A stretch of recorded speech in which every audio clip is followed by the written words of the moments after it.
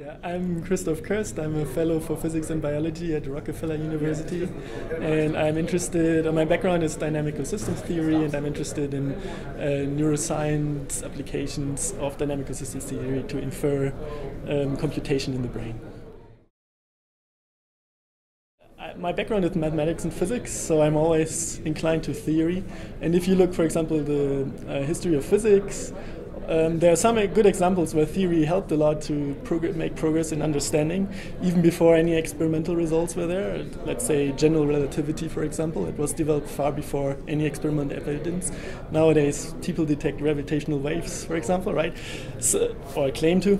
So, so uh, for neuroscience, I think it's a similar problem. It's a very complex system. It's very hard to understand, and theory is just essential for it, in my view, to generate ideas uh, to generate understanding, conceptual, to make some conceptual progress in, in trying to better understand what this complex system is actually doing in its detail.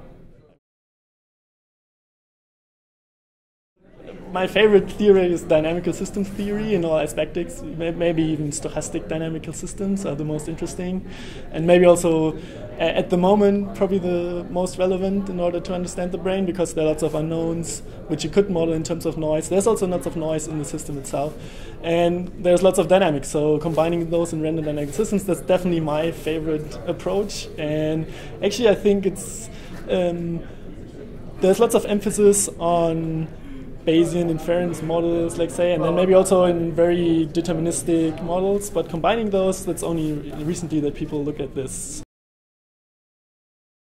I did lots of theory before. Now in Rockefeller, it's a highly experimental place.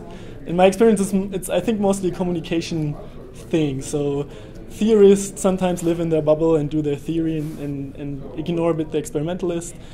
That's that's not true for everyone. There are extremely good theorists who collaborate closely with experiments. And then experiments might might say, oh, theory, I always was a bit skeptical about this, so they'd like to focus on this. So I think the, the main thing is to that, that there's better communication between these areas and maybe also more educational background in, for both of them. So if you study whatever applied mathematics, there should be some experimental courses substituting to actually see how hard some experiments are, really are. So sometimes at the theorist you think, oh, just you could just do this in one day, but then you figure out it takes you a year to answer that particular question. Vice versa, maybe for the experimentalist, they say, oh, this theoretical guy, he's just living in his house and making new ideas all the time. That's cheap, but that might be not true because good ideas are not that cheap. I think, and in this way, I, I think just enhancing communication between both would be a great thing and to make progress in neuroscience. Excellent.